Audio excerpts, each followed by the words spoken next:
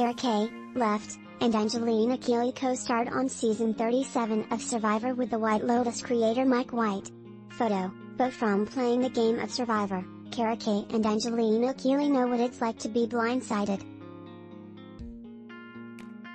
But their former mate and the White Lotus creator Mike White still managed to shock them when he asked if they'd appear in his show's second season.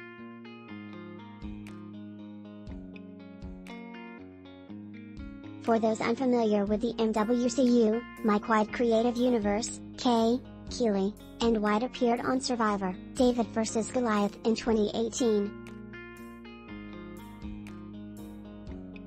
They started off in the Goliath tribe, and season 1 of The White Lotus actually featured another teammate in Alec Merlino, who played a bartender at the Hawaiian locale. So how did Kay and Keeley get from an island full of rationed rice and backstabbing to Sicilian paradise? As is the case with many great plans, White told his former colleagues over brunch last November. I was a little frazzled, I was running late, Keeley says.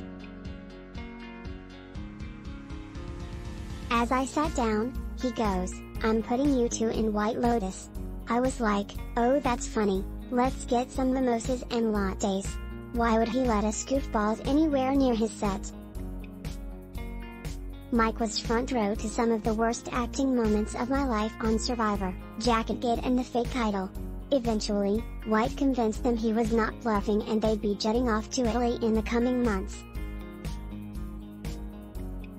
The season begins with Kay and Keeley chit-chatting with Meghann Fahy's Daphne about their Italian vacation before Daphne takes a dip in the water, and bumps into a corpse.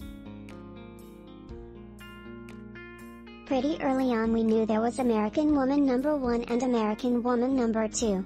He kept saying opening scene, I was like, maybe we're in the background, waving, drinking some cocktails, Kay says.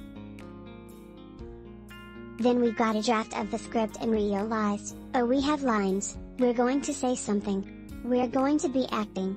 Though both had some nerves making their non-reality TV debut, they were welcomed with open arms on set. Fahy invited them to run lines on her hotel balcony the night before they filmed, and Kay and Keeley picked out several outfits for the costume department to approve, which was key UV making them feel comfortable, especially for Keeley, who was 4 months pregnant at the time.